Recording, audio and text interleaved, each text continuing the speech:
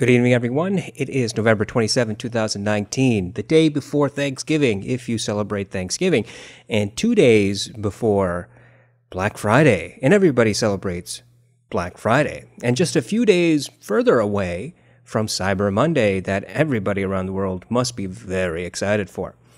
So we are finishing our comparison between the LCD1 and the Sennheiser HD6XX, which is the same thing as the HD650. We've already done the bass, we did the mids comparison this morning, and now we're doing the treble comparison because what I want to do is get all this done, upload it today so that if you're interested between these two headphones and you've been looking for an actual comparison, uh, some information, worthy information, I hope, then uh, this might be helpful to you. This whole series of comparisons might be helpful. So we're ready to get going. We have both headphones plugged into an AB switch. The switch itself is plugged into the Monolith desktop amplifier, the AAA amplifier. Now currently set at negative 25 decibels. I have uh, the first headphone, which is the LCD one, on my head. That is going to be the A headphone in the timestamp in the description section below. The B headphone is always the competitor, and in this case, obviously, it's the 6XX or the 650, which is the same thing as I said. We have three songs queued. We have Scherzo for X Wings, Flight from the City, and New Light by Kazuki. So let's get started with Scherzo for X Wings, negative 25 decibels. Here we go. It starts off with horns, and the horns don't have any real air to them. It sounds fairly closed off when it first starts out. So I'm going to increase the volume to negative 20.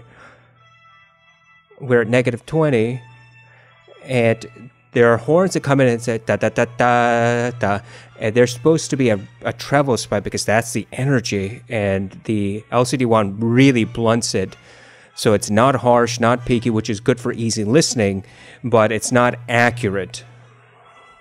I'm going to increase again. Let's go to negative 15. Negative 15 is where I can't even hear myself talk. It's that loud. So this is well over the uh, volume you would be listening to in the booth if you're doing this professionally. And it's still not harsh, it's not peaky, it doesn't get sibilant. In fact, there's a lot of energy that's blunted by the LCD1. It's rolled off very, very quickly. I can hear the group sets, but I can't hear them distinctly. When everything is playing in the mix, it's hard to separate the horns from the brass and from the brass from the percussion. So everything melds together, it becomes a little too integrated. So if you're looking for fine-tuned adjustments, let me bring this back down to negative 25. Uh, when you're trying to look for fine-tuned adjustments, it's going to be a little difficult to do that, I think, because everything sounds so, you know, pushed together. The the frequencies are rubbing up together at the very least, and at in worst case scenario, they're overlapping over each other, so you can't hear the separation. Now, often I talk about hardline separation. So, by hardline separation, I mean you hear a frequency or an instrument, and then there's another instrument that has its own frequency, and those two are distinct, even when they're playing at the same time, especially when they're playing at the same time. The LCD one has no hardline separation. It has never demonstrated hardline separation in any of the tests that we've ever done with this headphone. Instead, it has more of a melding type of effect. It it's really reminiscent of a warm headphone. Now, a warm headphone, in, in my definition, is a type of headphone that has closed off soundstage, so it's a narrower soundstage. It has a boosted bass and a rolled off treble, so it sounds warm. Now, the LCD one doesn't have a boosted bass. In fact, it has a more light bass response. We've already talked about that previously. But it also a, has a rolled off treble. So, what do you get? You get this kind of a weird situation where you never get the impact of the bass and you never get the energy of the treble. And everything else in the middle has a lot of smoothing effect attached to it, like we talked about in the mids comparison in the last video. Uh, that may or may not be good for you when you listen to music for pleasure, but it I don't think it's really helpful for a professional who's sitting there and trying to really fine tune the mix. Because if your headphone is not rep- reproducing the separation, and if your headphone is not really providing the detail, you might be a little upset and you might scratch your head and go, okay, so what's wrong? Do I need to add a little bit of boost in this frequency or not? look, if, if you're a professional, you tell me whether or not that's a concern for you, if a headphone is not really providing that information to you. Okay, so let's switch to the Sennheisers. I'm going to increase the volume of the Sennheisers from 20, negative 25 to negative, uh, 15 to start, and I'll probably have to go up from there. All right, we're ready to go, and here we go. It sounds very, very similar to the LCD one at the very beginning. I'm going to increase to negative 10 to try to get equal volume. And negative 10 sounds very similar to negative 20 uh, on the LCD one. And there's a bit more energy, definitely a bit more energy. When the horns go ba ba ba ba ba, sorry about my terrible voice. There's a there's like a two, three decibels extra energy that just brings out that sparkle. And so we're going to test this again. We're going to go back to about 15 seconds or so, and we're going to listen to that one particular note, and I'm going to switch to the LCD one and listen to it again. Here we go. Yep. Okay. I'm going to decrease the volume to negative 20. And I'm going to put on the LCD one. And let's try that again.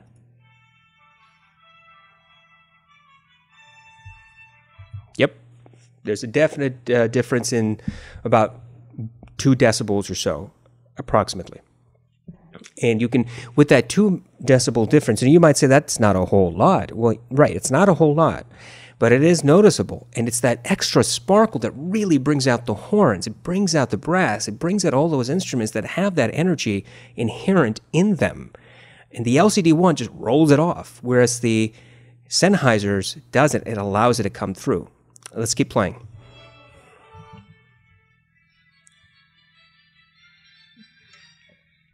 We're back at negative 10 decibels on the Sennheiser. No harshness, no peakiness, no ear piercingness, but there's still just a little bit more energy.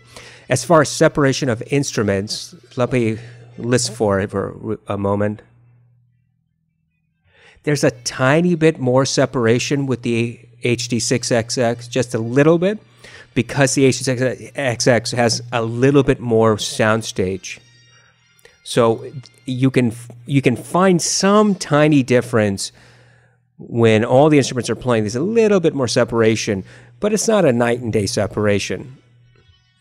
Consequently, I would be happy saying that they sound fairly similar in the respect that there's not a hard line separation in either of these headphones. Okay, so once again, as we have said many times between these two headphones, the Sennheiser has a wider soundstage. It gives a much wider, let's say much, it gives a noticeably wider experience. And it has that additional treble energy. And because it has a slight, teeny tiny slight boost in the bass, you kind of get the rumble effect, just the beginnings of the rumble effect uh, with some of the instruments in the song. Whereas the LCD one rolls it off and it sounds really light and then it sounds really muffled because you have all the other smoothing effects going on with the headphones. And I, the reason I'm harping on this is because this is the type of song where you do expect to have treble. You do expect to have those uh, peaky frequencies, those spikes in, in the song. Now, there are treble friendly headphones that have way too much energy. You could think of Beyerdynamics, mo- all Beyerdynamics, maybe to the exclusion of the T1 second gen. But other than that one, they all have a very, very peaky frequency. They're very, very harsh sometimes. And with Scherzo for X Wings, it can get super harsh, more harsh than the song actually is, because it's emphasizing that. I would say that the LCD one underemphasizes it because it never brings out those those ener- that energy. The LCD one is just that temperament, just that character. The Sennheiser, on the other hand, I think it's much closer to the true representation of the song because I start feeling the energy that's supposed to be there without getting fatigued and without uh, feeling as if my ears are hurting. All right, so let's go to Flight from the City. And we have the LCD 1 on. We're going to go back down to negative 25 decibels. And here we go.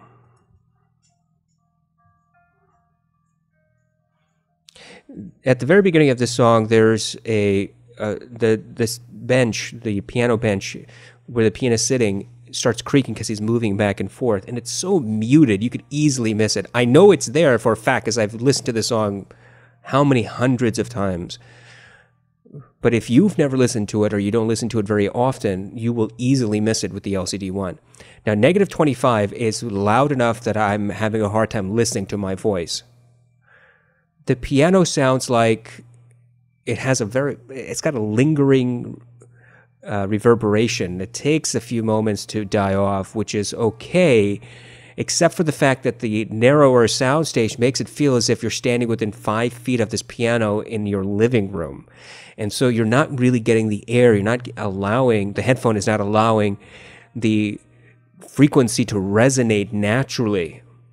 And it doesn't sound open and airy, and it doesn't sound um, as if you were getting the full measure of the piano. Now, that sounds all pretty vague, so let me try to put it in, in more concrete terms.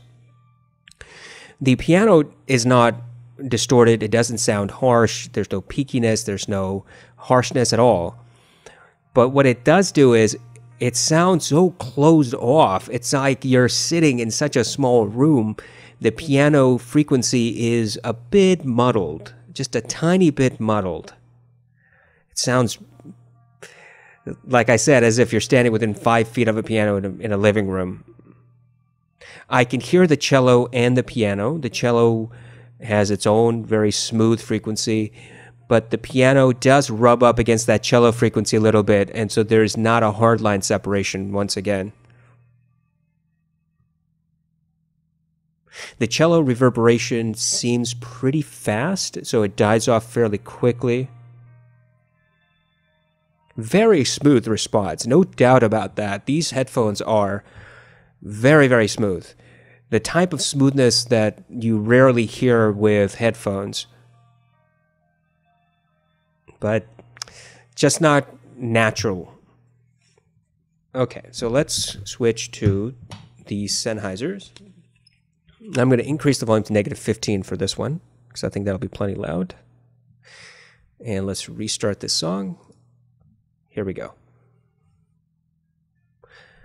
Immediately, you notice wider soundstage, and that creaking in the bench is louder, a couple of decibels louder, more prevalent, more present, more audible. And that extra width in the soundstage makes it sound as if you're not standing five feet of the piano, but instead you're standing like 20 or 30 feet back from the piano and it doesn't sound muffled all of a sudden. In an A and B test, it sounds much more natural.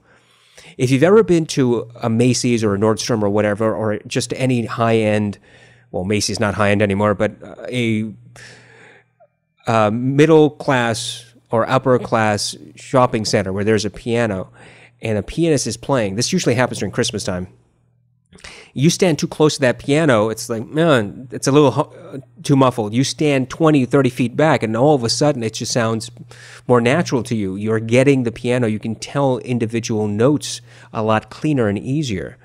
Now, obviously, that's a big, big room that we're talking about. The uh, Sennheiser doesn't have a presentation like you're in a big room. Again, the soundstage is slightly wider, not a tremendous amount. So you're still basically in that living room, but you're not right up to the piano. Instead, you're about, like I said, 20 feet back. And that's enough of a distance in order to get a bit more natural decay in the piano and a little bit better separation of each note. I would say that the cello is not muddled. It doesn't sound muddy like it did with the LCD one. There's just enough separation that I can hear those strings I can just hear the smoothness in that cello with a little bit of energy there that the LCD one simply didn't provide. Excuse me. Other than that, uh, these two sound very, very close. Okay, so now let's switch back to the LCD one. I'm going to bring this back down to negative 25. Okay.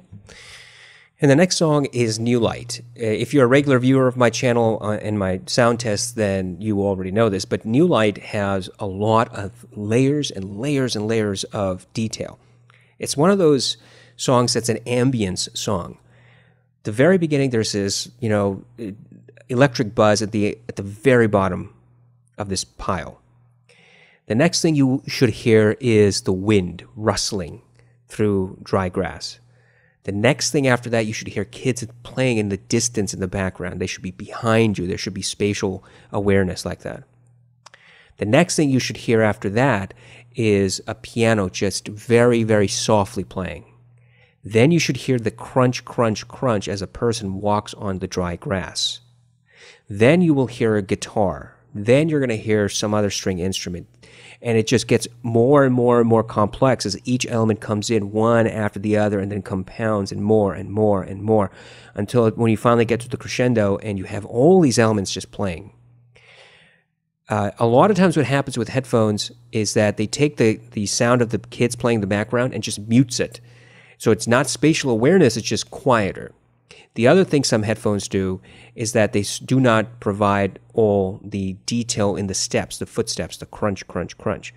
My gold standard to this day is the Focal Clear, where I hear 16 counted footsteps from 0 to 45 seconds of this song.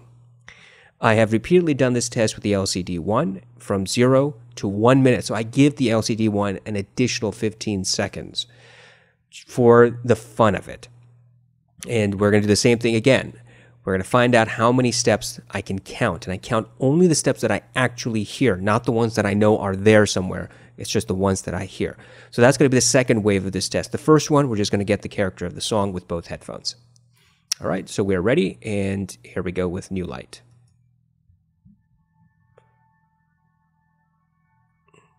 That kind of electric buzz is very, very muted, just muffled. The kids in the background are muted, not so distant, just muted. I can hear the footsteps. Initial first one is audible, the next two harder to hear, and then after that, it's really difficult. I can hear the wind rustling through the uh, to the dry grass, but it sounds again a bit muddled. It comes and goes. It's not particularly audible.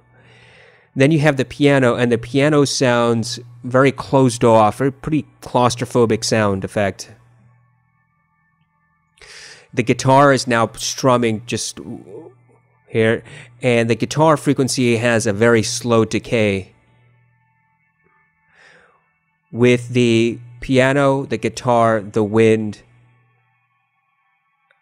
there's not any hardline separation. Things are just a little melded together.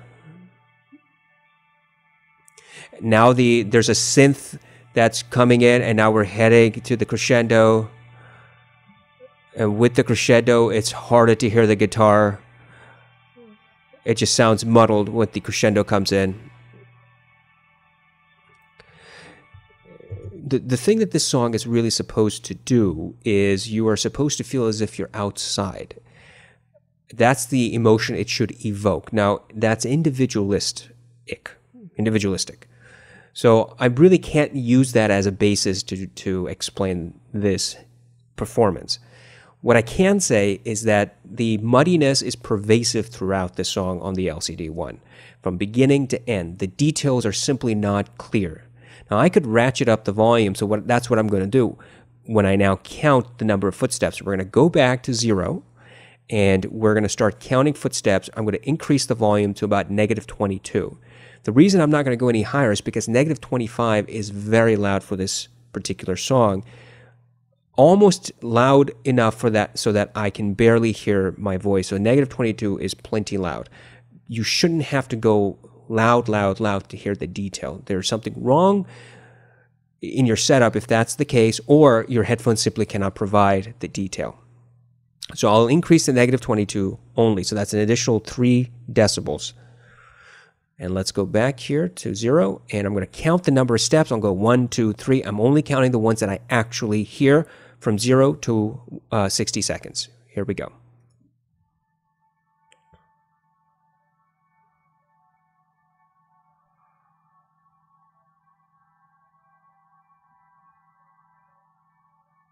One, two, three.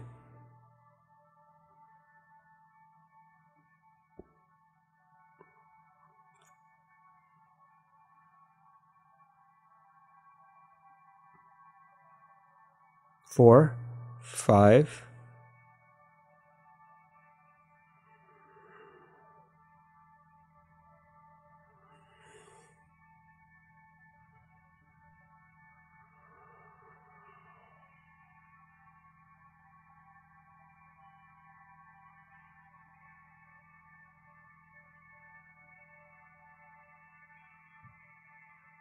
six.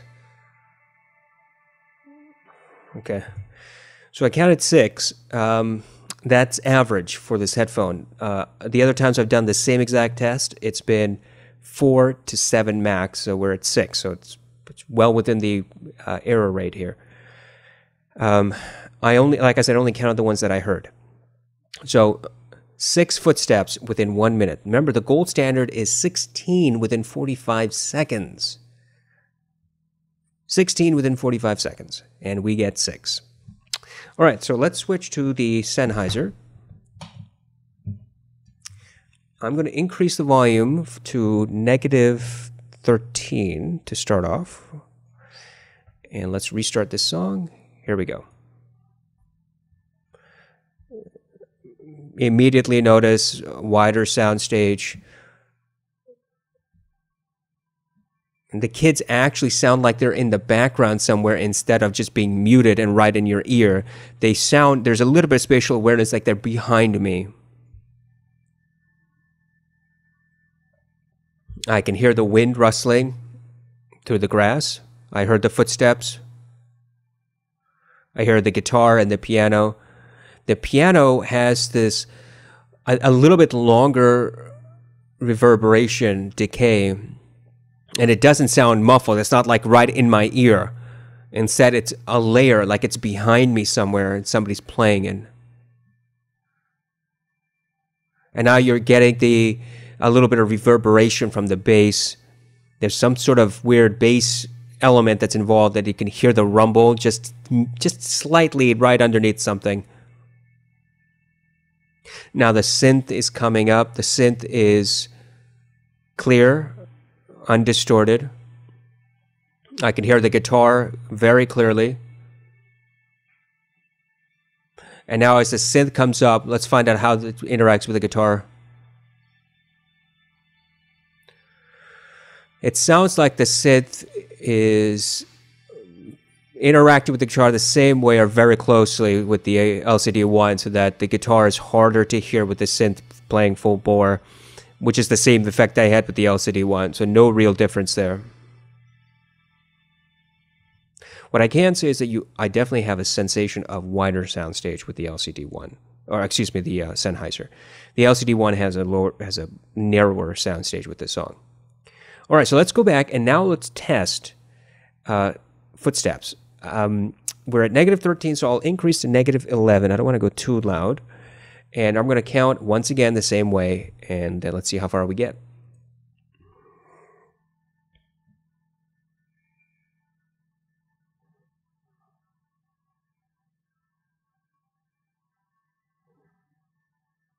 One, two,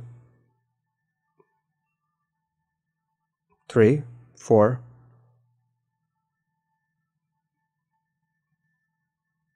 five,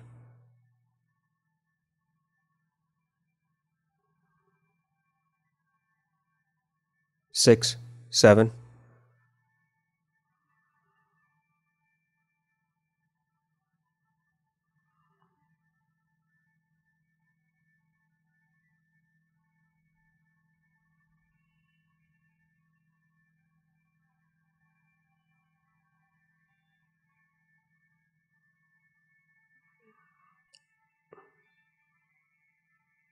Eight. Okay. So I heard eight. Eight footsteps with the Sennheiser. So six on the LCD1, eight on the Sennheiser for, in 60 seconds. Once again, the gold standard is 16 in 45 seconds. Um, so very close. So not a big difference here, right? I'm not. I'm definitely not going to comment that the the Sennheiser have significantly more detail retrieval. That that's not the case, but it's a noticeable one when you do an A and B test. Six versus eight. Okay, so now let's talk about conclusions. What do I think overall? Uh, I think that the treble response is uh, is fairly similar with the LCD one.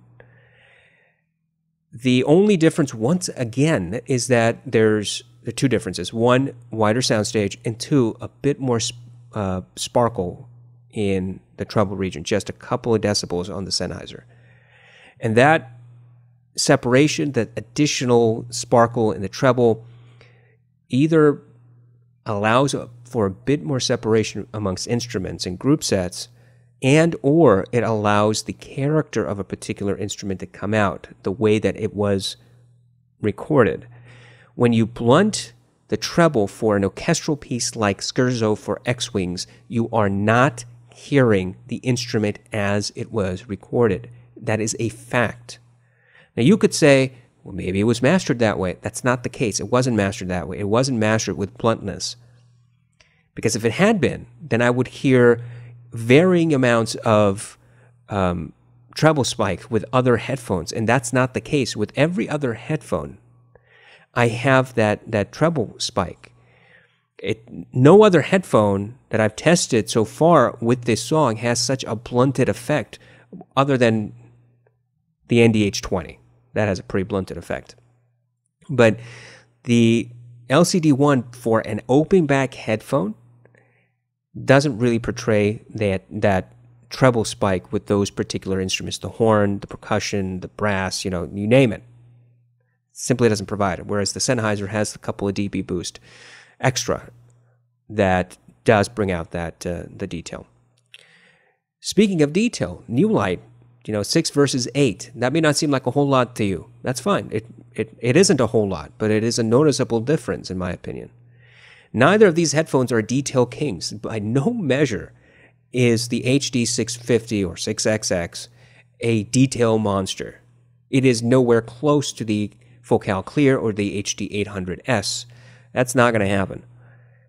Same thing with the, with the LCD one. Now you might say, look, those are over $1,000 headphones. How can you compare with those?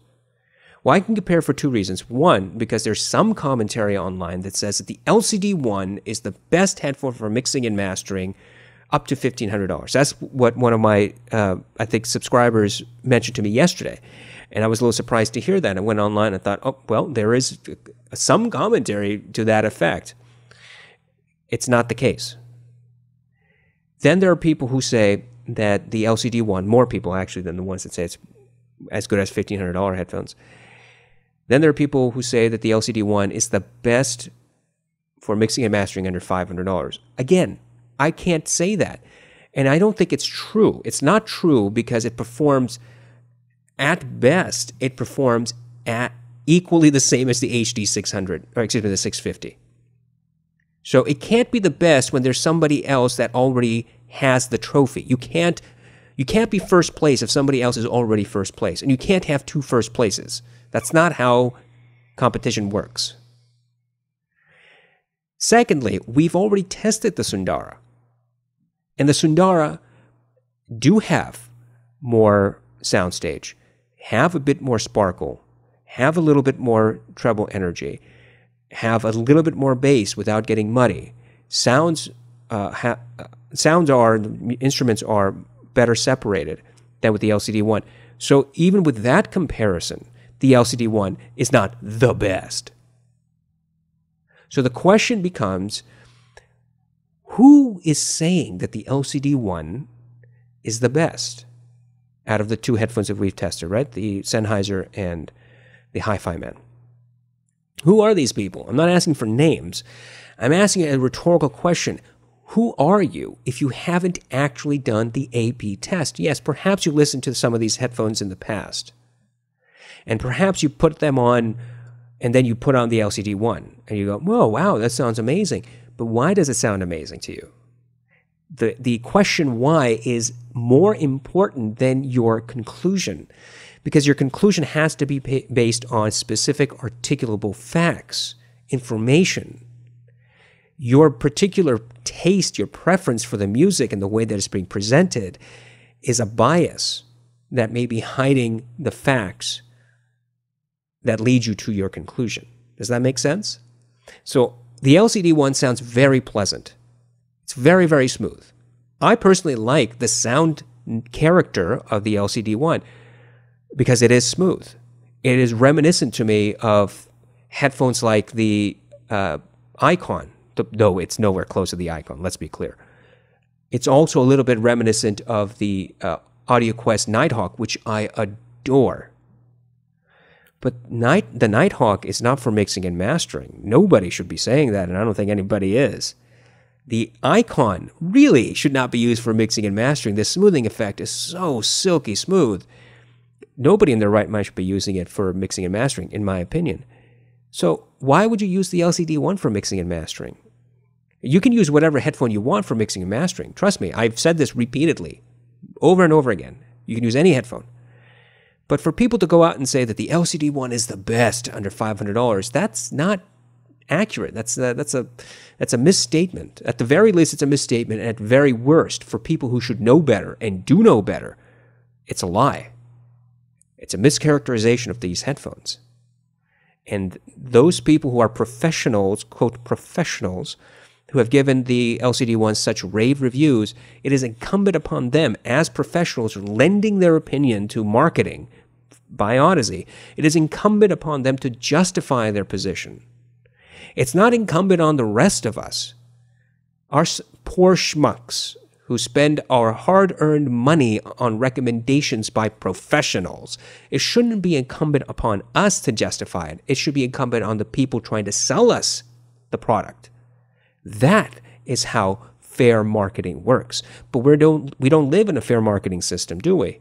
We live in a system where you offer something to a quote professional for free, knowing that they're going to probably give you, or having a very, very strong suspicion, they're going to give you rave reviews because that's how the relationship typically works. If you talk about uh, professional reviewers and you look at, at their history, you have to always, always look at people's history and put it in context with their credibility. If a professional excuse me, if a professional reviewer has consistently given rave reviews for name brands, and in conjunction with that, you have information that those professional reviewers get products for free from those same name brands. And on top of that, you find out that those professional reviewers don't really do a test. It's very ambiguous, or it's phoned in, or it's it's shady. In other words, they hide the some of the nitpicky problems amongst all this wide text of positives. And I've seen this happen with what hi-fi and other websites talking about certain ha- um, hi-fi products like the Chord Mojo. Excuse me. So, if you take all that information together, now you have all these facts about a particular professional you have to reach a conclusion. You have to use your own logic and determine whether or not this is the type of person you should invest in because that's what you're doing. You're investing in their recommendation. You're believing in what they say. Now, you have every right to believe whoever you want. That's totally up to you. My position is you, sh- uh, you should be given all information up front. You shouldn't have to hunt for it. You shouldn't have to beg for it. You shouldn't have to have other people who are not professionals like me to do all these tests, to spend our own money to try to figure it out. Why obfuscate the truth? Just be truthful. And if you ask that question ultimately, why is this professional not providing the information? Why are they not doing the A B test? Why are they not talking about specifics? If you ask that question and you are left without an answer, I think you can reach a logical conclusion about whether or not to trust that professional. If you are left without an answer, if, you're, if you have a mystery without an answer, a real mystery without an answer, then it's not your fault. It's not somebody else's fault. It's that professional's fault. And it's up to them to convince you. Audeze hasn't convinced us because they don't provide charts. They don't provide A B tests. I mean, no hi fi manufacturer ever does that, unfortunately.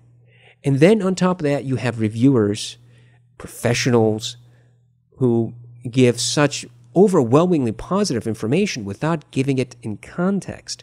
For example, as I said in the previous videos, these professionals that we're talking about, audio engineers and mixing and mastering artists and all that, I bet you, I bet you that those individuals have more than the LCD one at their studio. That they're using other headphones to compare their music, to test their music. Of course they are. That they're using, as somebody else pointed out today, very high quality monitors, speakers well, if that's the case, then what does the LCD one do? Well, how does it fit into your workflow? How does it complement it? Answer that question. If you tell us, look, I mixed, I mixed and mastered my music using X headphone, whatever it is, and then I used the LCD one to listen to it for pleasure, and it was amazing, hey, that's okay. Now you've given me a little bit of context about how the LCD one fits into your workflow. But if you refuse to provide that information, then it's hard for me as a consumer to trust what you say. Now, this is just my position. I know there are plenty of people who disagree with me. Fine, disagree with me. But my channel is not based upon uh, continuing the hype train to push it along and to push nonsense theories and hypotheses. My channel's purpose is try to break down all this stuff and provide facts as best as I can. And hopefully that's been of some merit to you. It's been of some help. I hope that if you have been in the market and you're looking forward to Black Friday or Cyber Monday or any of the uh, other deals, there are going to be plenty of deals between now and, and the end of the year. In fact, even you're going to get plenty of deals after New Year's. Um, and you're concerned whether you should buy the LCD one or the Sennheiser or the Sundara or any other headphone, I hope that this test is going to be helpful to you. Hopefully, you'll get something out of it. It's been informative. Now, remember, the LCD one is likely not going to go on sale. They just released it. I don't think that that Audeze has any incentive to decrease the price from four hundred dollars uh, because of that hype they're going to cash in as much as they can before they put any, anything on sale. And I rarely ever see Audeze products on sale. So you're talking about paying full price versus paying it for another headphone that might be comparable or theoretically better than the LCD one at a discount. And that's a decision you have to make. I hope that this has been of some help. I, uh, I hope that my channel has given you some information that you can actually use to make better, more informed decisions in the next uh, month or so. If you like my content, if you like any of my other videos, then I hope that you might consider donating to me a couple of months, a couple of months, a couple of bucks a month on Patreon. I have some very wonderful, giving, very generous patrons who give me a little bit of their hard-earned money once a month. Giving me just two bucks a month would help me save money so that I can buy new and old products and test them for you thoroughly. If you like my content, you're a first time viewer, you're a regular viewer, but you haven't subscribed, hey, think about subscribing. We are well over 850 subscribers, and I'd like to keep this train, keep, yeah, this train. I want to, I want to keep this train going. Let's see how far we can go before the end of the year. If you have any questions, leave them in the comment section below. If you want me to review a product I currently own, hey, there's a comment, uh, not a comment, there's a product review form in the description section below. Click on it, fill it out, submit it, and I'll get to your request as soon as I can. I hope all of you have a wonderful, safe, amazing Thanksgiving. And if you don't celebrate Thanksgiving, I hope that you have an amazing end of your week and a very, very pleasant weekend. Take care.